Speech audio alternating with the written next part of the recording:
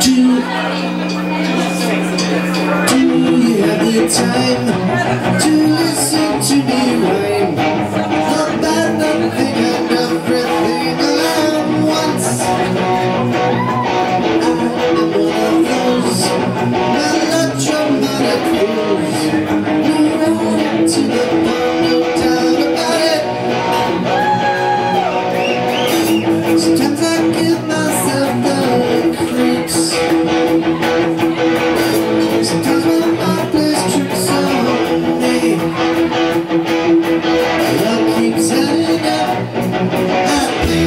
Yeah.